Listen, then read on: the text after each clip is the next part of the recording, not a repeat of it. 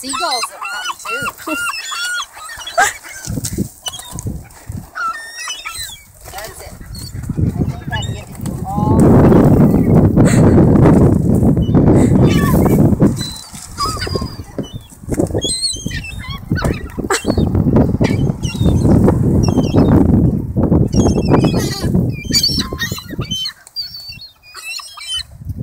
I had to pick the tiny, the tiny food one.